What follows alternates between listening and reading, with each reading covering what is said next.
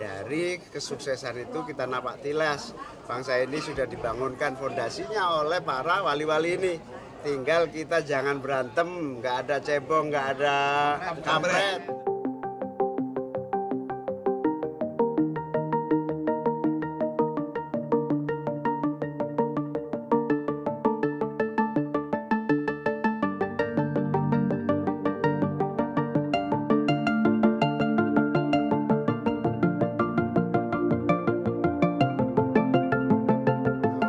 Islam dakwah dan membangun negara.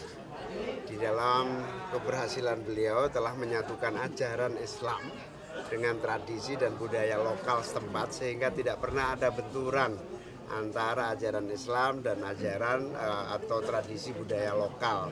Itulah yang disebut asimilasi sukses sehingga terbentuklah Islam Indonesia ini yang damai, ramah, yang disebut rahmatan lil alamin atau orang menyebut Islam Nusantara itu.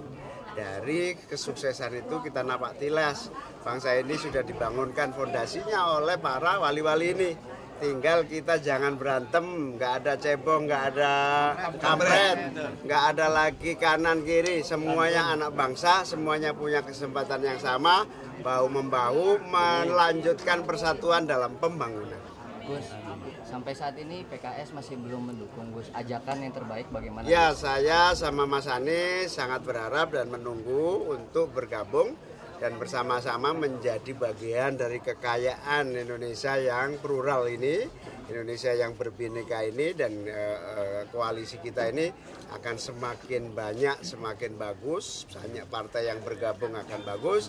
Bahkan kita berharap juga Demokrat bisa bergabung kembali. Gus, infonya hari ini bertemu dengan PKS, Gus.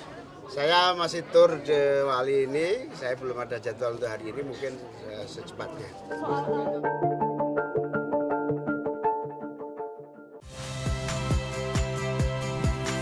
Saya Valeria Bella.